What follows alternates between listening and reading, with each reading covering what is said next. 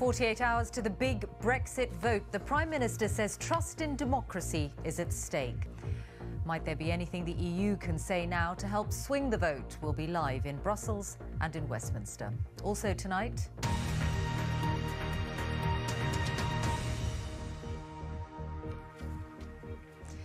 Good evening. In the 48 hours before the parliamentary vote that could define Brexit and her future, the Prime Minister has told MPs not to play games but to do the right thing for the country.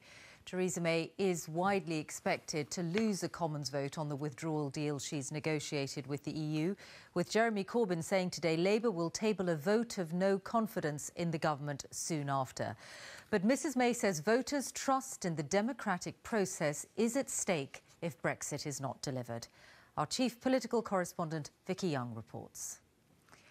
The family of an 11 year old who was killed in a hit and run accident in Manchester yesterday have paid tribute to him, saying he was an intelligent, loving boy who was always smiling. Taylor Schofield was treated by paramedics at the scene but died of his injuries in hospital. Police are questioning a suspect, as Fiona Trott reports.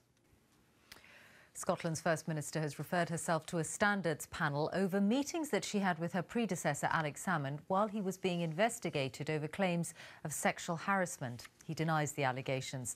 Sarah Smith in Glasgow, thank you. Two men have died in separate falls in the Mourne Mountains in Northern Ireland, an area popular with hill walk. Three people have been killed and a fourth is missing after an avalanche near the Austrian ski resort of Lech.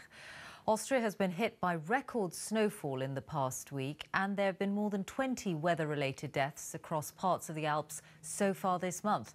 Bethany Bell reports. President Trump has again blamed the Democratic Party for the partial shutdown of the US government, which is now in its 23rd day. The standoff over the funding the president wants to build a wall along the Mexican border has affected more than 800,000 people who work for the federal government and who are not being paid. We'll let Jon Sopel in Washington. Thank you. In Yemen, clashes this weekend in the strategic port city of Hodeidah have dealt a fresh blow to the fragile truce that's been in place since last month. The ceasefire agreed between Houthi rebels and government forces backed by Saudi Arabia and Western allies has allowed some much needed aid into the country.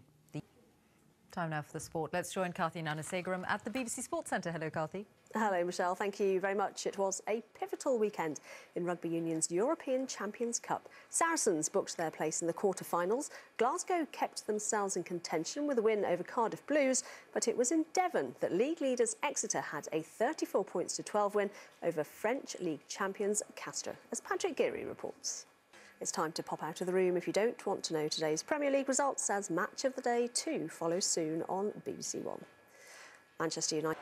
England's netballers have made a winning start to their the first Grand Slam of the tennis season starts in the next couple of hours with seven British players in action on day one. The focus, though, will be on Andy Murray, who may be playing his last ever match, which has led to glowing tributes from two of the sport's all-time greats. Joe Wilson reports. And that's it from the BBC Sports Centre for now, Mishal. Karthi, thank you very much. And that's it from us for tonight. Now on BBC One, time for the news wherever you are. Good night.